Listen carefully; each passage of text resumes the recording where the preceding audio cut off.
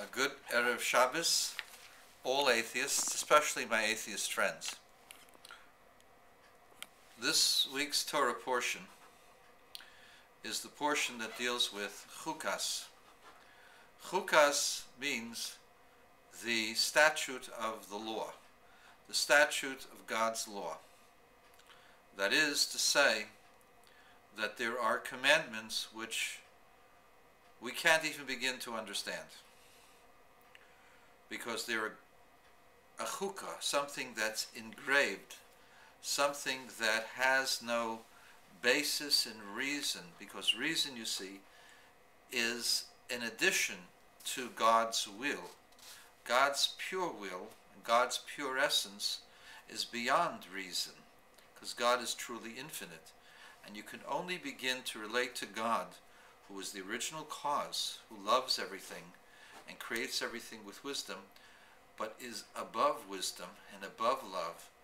God's essence can only be grasped by a service that is of the essence of the soul, which is to be completely devoted to God, irrespective of rationale and reason. For this reason, we keep kosher. There's no reason for kosher. It's not to be healthier. You can be very, very healthy and have a non-kosher diet. The purpose of keeping kosher is to listen to God. The same thing is true with non-wearing of shatnez, wool and linen together, or the red heifer. The red heifer was slaughtered, burnt into ashes, mixed with living water from a well, with um, a cedar staff, a hyssop, and some scarlet wool, and they were also burnt, and the ashes were then mixed with this water, living water from a well, and then was sprinkled on by means of hyssop branches upon people who had become contaminated by connection to the dead. This all does not make any sense at all. And then through the process, the people became permitted to enter the temple if they were sprinkled upon on the third day of separation and the seventh day of separation, and they proceeded on the eighth day of separation from the dead to go to a mikveh. They were then allowed, it was an eight day process, they were then allowed to enter the temple area. However, the people who sprinkled onto the people who became purified, they themselves became ritually impure, had to go to mikveh ritual pool, and could only enter the temple in the after the evening or the next morning.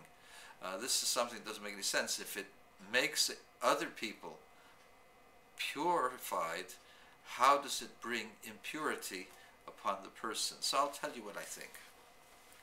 Even though this doesn't make sense, but this exists within the world. You see, people who serve other people, doctors, psychiatrists, counselors, or people who serve the country as military uh, experts, uh, people who have to be involved in espionage or defense projects, they live a very secretive lives and they are minutak, they are separated from the reality of the world.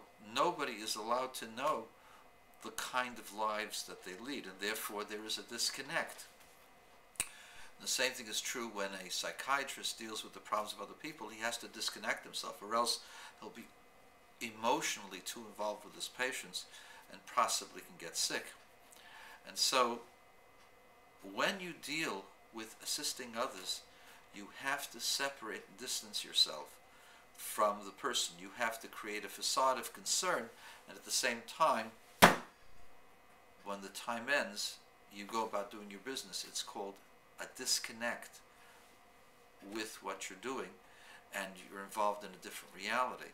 And whenever you have a disconnect, the person needs to be healed because to be disconnected is to be disingenuous.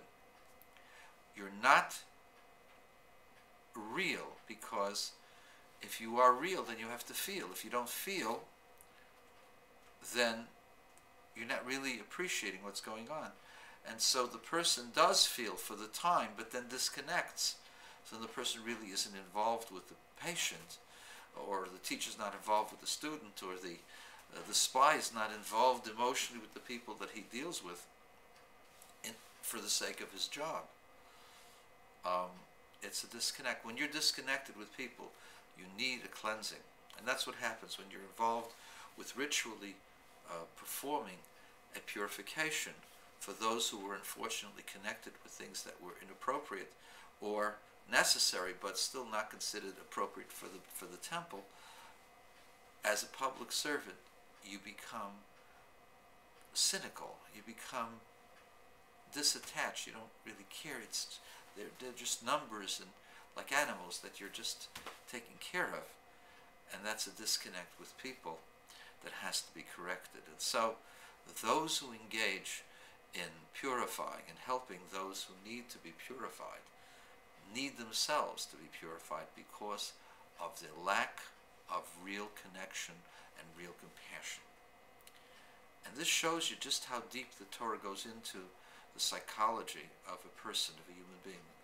As it says, the Torah actually penetrated into the ultimate will, the ultimate intellect of the person, and decided accordingly.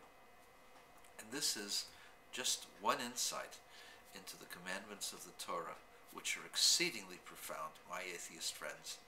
And were you to study the Torah with me, or with a real teacher, not me, somebody who's real, somebody like the Rebbe who passed away in Gimel Tammuz 16 years ago, were you to study Torah with a real great Torah giant, you wouldn't be writing the things that you write to me all the time that are really inappropriate read the Torah with the commentaries, ask questions.